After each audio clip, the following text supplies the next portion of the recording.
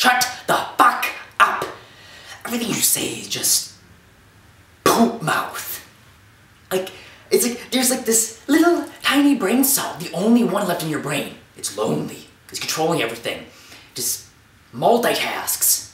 It's fascinating and really sad at the same time. If I had a gun with two bullets in it, and it was you and Hitler, I would shoot you twice. You hear that? I hate you more than the devil himself. You, you, you smell bad. You, you, you're stupid. You're ignorant. You're racist. And I'd be able to forgive all that in a snap of the finger. If you weren't just so boring. Like, God, you're boring. You're like a manila, manila envelope glued to a beige wall. Boring.